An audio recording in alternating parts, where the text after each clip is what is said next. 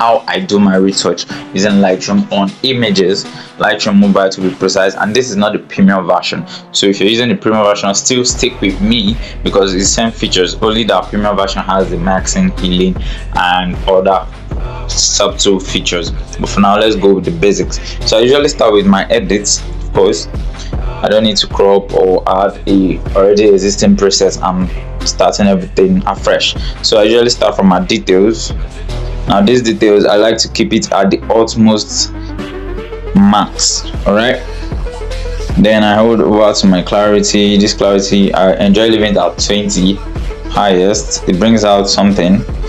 Texture between between 5 to 10 in between that range i prefer 10 too my grain let's leave it at 20 because my grain always does wonders okay let's leave it at 18 now you should be able to see why the grain was applied and the texture and the clarity. You would have seen the difference by now. Let's you see how it was before? Not too good. Now you can see something is coming out from the face and you're getting the full details. So let me increase my vibrance. This vibrance brings out vibrance is like bringing out eh, all the existing color but improving it okay see the difference now between vibrance and saturation.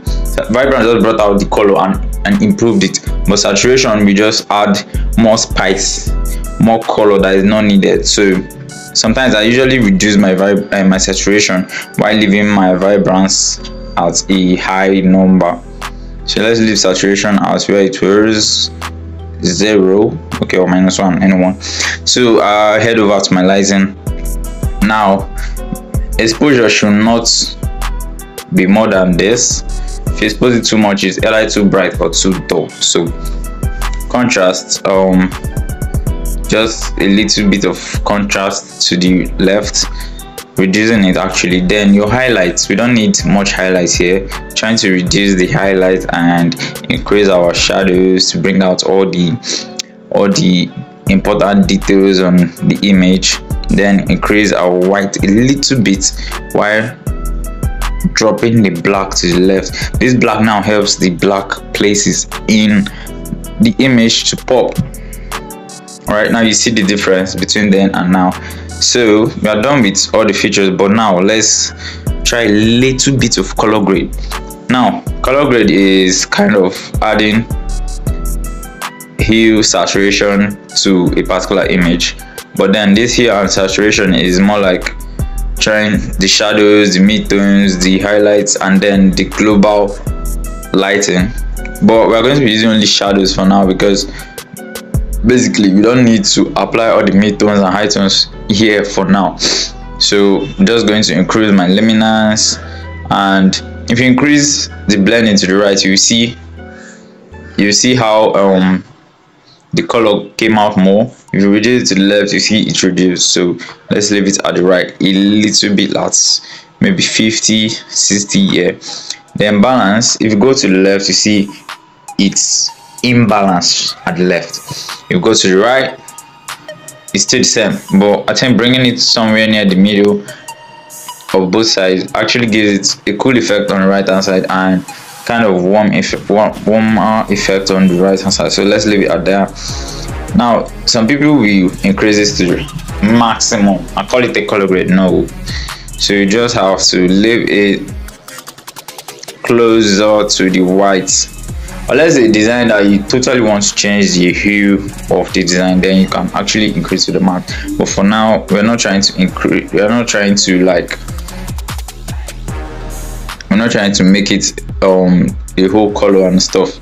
I just want to add a little bit of thing to it. You can choose the particular color you want to color grade it to. I think putting it at pink doesn't give the vibe you need so blue actually give it because the color of the of the skyscraper we used and the background everything was turning out to be kind of bluish. So let's stick to that and now we can see how good the retouch is you can see the before and the after you can choose to save your presets Here's um the ones I've saved before. You can choose to save your presets here, create presets, and name it after or whatever. But now I'm going to just you know straight to saving. Then export app, and you can choose any of these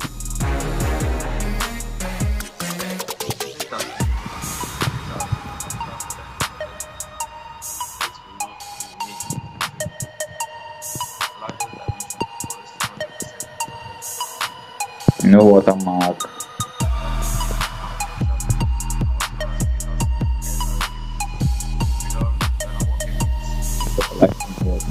we're trying to export it out to the real world to somebody.